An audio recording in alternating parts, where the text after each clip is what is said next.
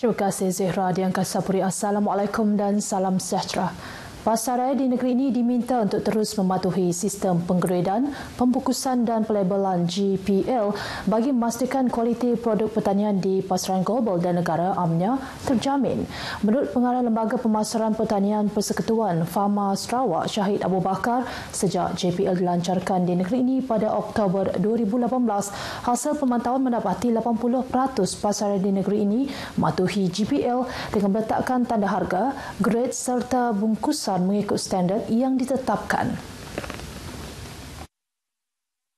Di mana mereka perlu faham eh, barang yang diimport atau barang yang dieksport perlu digrade dulu dan perlu dilabel dulu dan perlu dibungkus.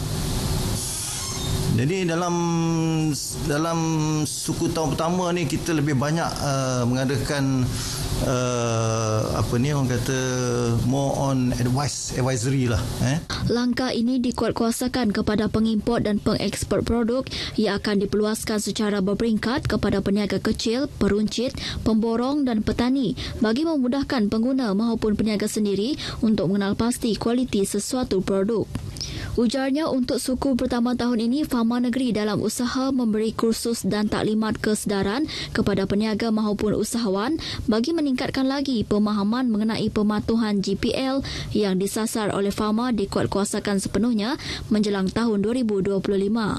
Peraturan ini digubal berdasarkan Seksyen 3 Kurungan 2 Kurungan C Akta 141 memberi kuasa kepada FAMA menetapkan standard kualiti fizikal sesuatu keluaran pertanian dengan menggunakan pakai Malaysian Standard mengikut Akta Standard Malaysia 1996 Akta 549.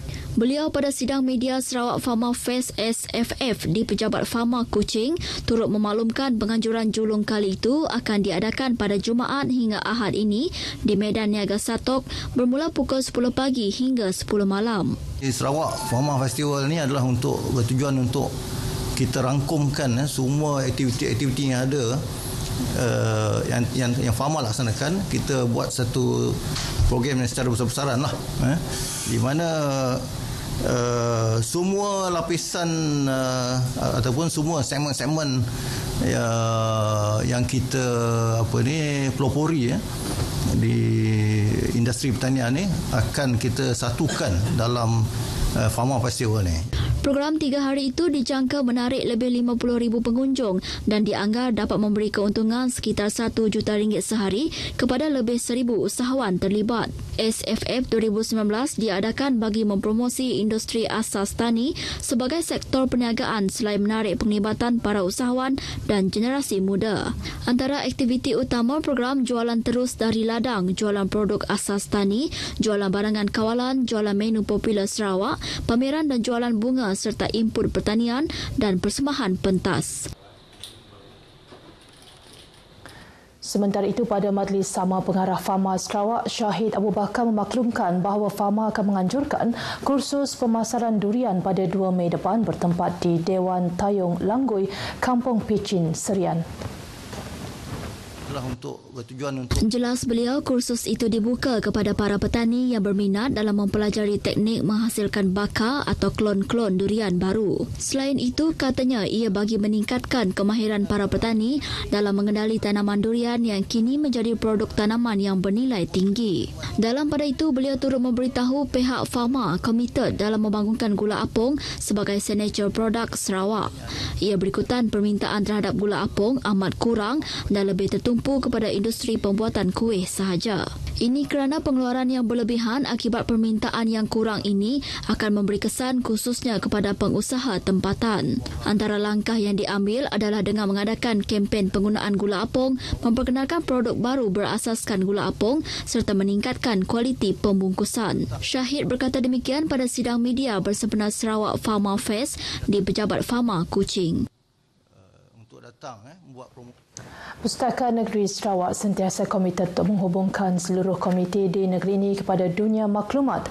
Ketua Pegawai Eksekutifnya, Dr. Rashida Bol Hassan memberitahu usaha tersebut tidak terhad dalam menyediakan sumber maklumat bercetak sahaja, malah turut merangkumi sumber maklumat dalam talian. Walau bagaimanapun beliau menjelaskan masih terdapat segelintir individu yang tidak mempunyai kemahiran serta kemudahan untuk memanfaatkan sumber maklumat dalam talian.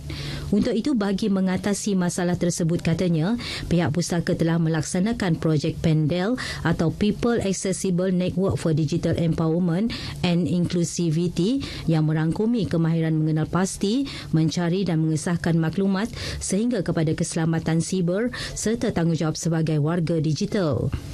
Dr. Rashida berkata demikian pada program Jom Baca Bersama selama 10 minit 2019 di Pustaka Negeri Sarawak di Kuching. Pada majlis tersebut, Pustaka Mobile Apps turut dilancarkan bagi memberi capaian kepada perkhidmatan dan maklumat di Pustaka Negeri dengan cepat dan pantas menggunakan peranti mudah alih. Sementara di Miri, Timbalan Ketua Pegawai Eksekutif Perkhidmatan Pustaka Negeri Sarawak, Arpah Adenan berkata pelbagai program dan aktiviti dilaksanakan bagi memastikan kesedaran serta penghayatan budaya membaca dalam kalangan rakyat Sarawak semakin meningkat setiap hari. Katanya di Pustaka Negeri Sarawak Miri sahaja, jumlah peminjaman buku telah meningkat kepada 114,346 tahun lepas berbanding 82,100 pada tahun 2017, manakala bagi Januari hingga Mac tahun ini sebanyak 9,740 transaksi pinjaman bahan telah direkodkan. Bersempena program Jom Baca 2019 katanya, program Tower of Books Challenge turut diadakan untuk membaca buku-buku yang telah disediakan oleh pustaka dari pangkalan data dalam talian pustaka. Manakala bersempena program sama, Ahli Parlimen Puncak Borneo Willy Mongin menyeru masyarakat umum khasnya golongan muda untuk menanam sikap suka membaca. Katanya sikap dan minat suka membaca akan membantu mencorak cara pemikiran individu yang lebih baik. Jelas Willy, kandungan ilmiah daripada pelbagai buku atau bahan bacaan yang diperolehi dari internet turut membentuk kepribadian dan pemikiran individu. Ahli Parlimen itu berucap pada program Jom Baca 10 minit di Perpustakaan Desa Taman Duranda Emas di Batu 18 Jalan Kuching Serian yang disertai 250 murid-murid tabika dan tadika serta ibu bapa. Program Jom Baca 10 minit merupakan program serentak seluruh negara anjuran Perpustakaan Negara Malaysia dengan kerjasama Perpustakaan Awam seluruh negara yang disambut pada 23 April setiap tahun. China kekal menjadi rakan dagang terbesar Sarawak dengan menyaksikan jumlah dagangan bernilai 18.91 bilion ringgit tahun lepas.